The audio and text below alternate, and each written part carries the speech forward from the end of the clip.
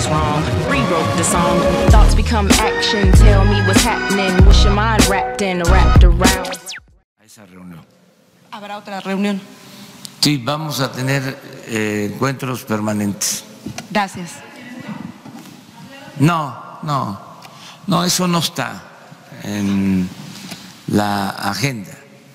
Este, estamos hablando básicamente de atender las causas. Y nosotros tenemos la convicción de que con los programas que se están implementando en nuestro país va a ser cero la migración de mexicanos. No van a tener necesidad los mexicanos de ir a trabajar a Estados Unidos porque va a haber trabajo. Ya estamos creando empleos en el país.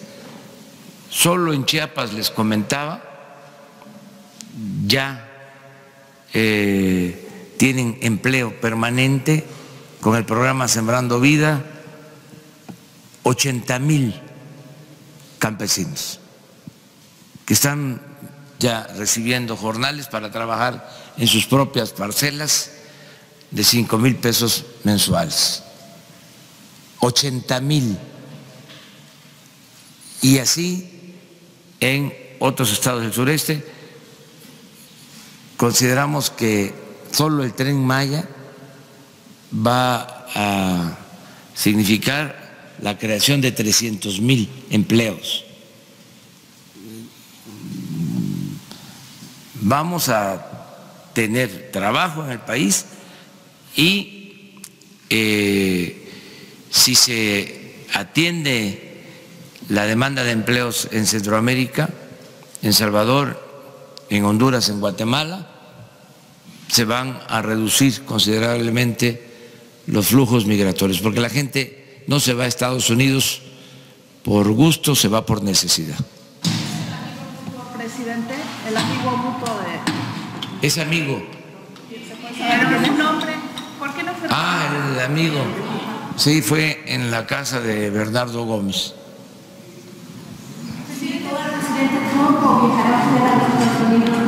Mande.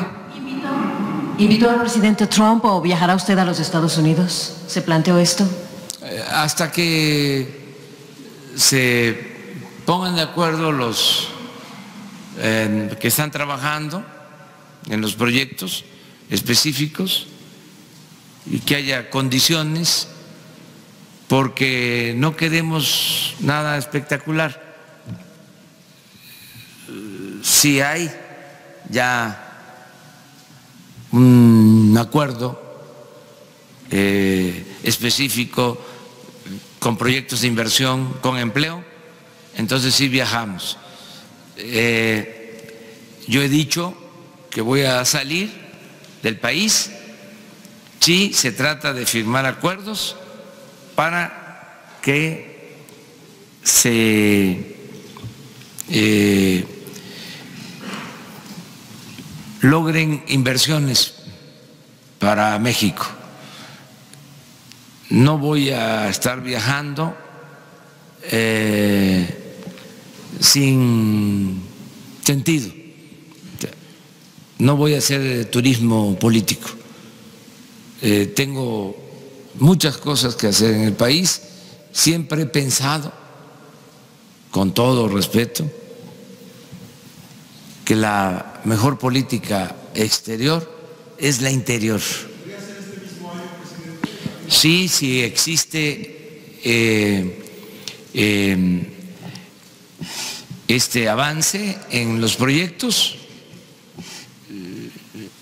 Estamos hablando de una inversión para México de cerca de 5 mil millones de dólares y otro tanto para los países centroamericanos.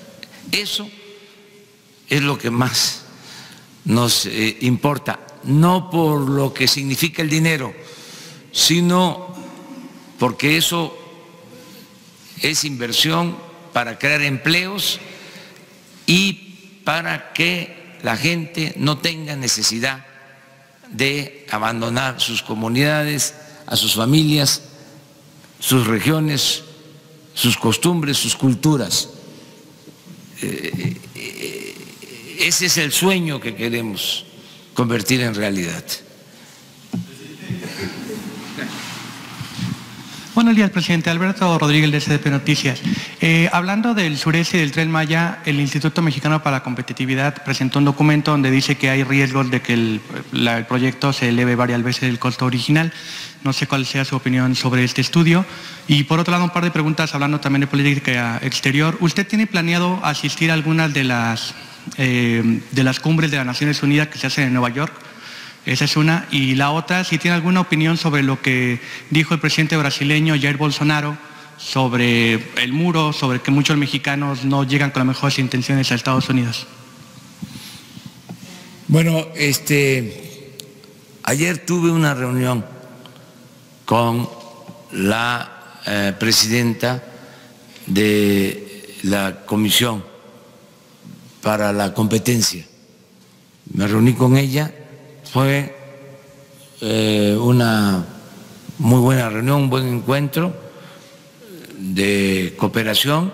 Es un organismo autónomo y hablamos de eh, cómo evitar que se centralice, se monopolice todo lo que tiene que ver con las comunicaciones. Es parte del trabajo de ellos evitar estas concentraciones, estos monopolios. Además, lo establece nuestra Constitución en su artículo 28. No debe de haber monopolios en México. Entonces, eh, hablamos de este tema, de la posibilidad de tener toda la conectividad de Veracruz hasta en Valladolid y el istmo de Coatzacoalcos a Salina Cruz, porque hay tramos donde hay una concesión, pero eh, se tiene eh, la posibilidad de conformidad con la ley de que exista un derecho de paso eh, y que se puedan compartir vías. Eh, son dos tramos, uno llegando al puerto de Veracruz y otro llegando a eh, Coatzacoalcos. Todo lo demás es de dominio público, son vías no concesionadas que están en poder de la Secretaría de Comunicaciones y Transportes. Y es todo lo que vamos a desarrollar eh, para comunicar mejor al sureste. Esto incluye lo del tren Maya. Eh, no se habló de aumentos en los costos del tren Maya, al contrario, eh, teniendo estas concesiones ahorramos mucho porque se tiene el derecho de vía.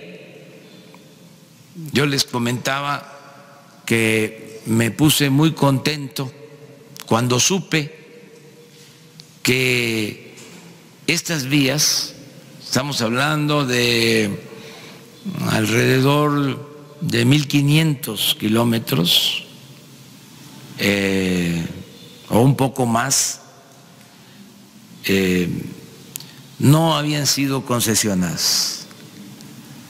No les importaba el sureste. Eh, lo que hicieron fue eh, concesionar las vías del ferrocarril del centro y del norte. Entonces, del sureste no lo vieron como negocio, es como lo que sucede con el Internet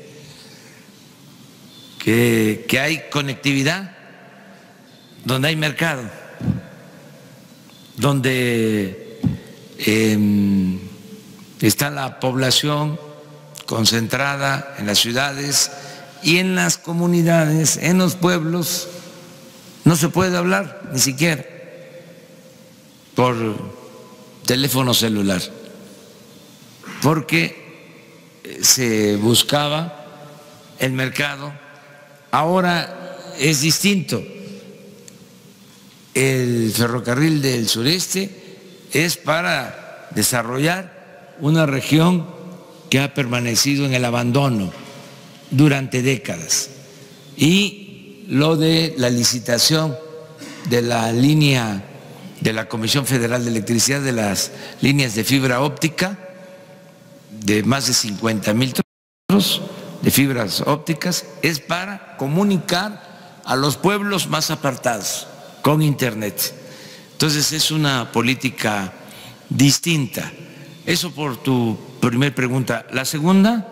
Sobre si va a asistir a las Naciones Unidas como todo. Sí, me están invitando, pero vamos a ver. Lo más importante es este buscar acuerdos en beneficio del país. Es importantísima la ONU, estas reuniones eh, anuales, pero todavía no lo decido, todavía no sé si vaya a asistir. Lo que sí les digo es que si hay eh, el acuerdo de cooperación, de inversión con Estados Unidos y tengo que salir, sí, lo haría. El presidente brasileño que habló... Lo que diga mi dedito.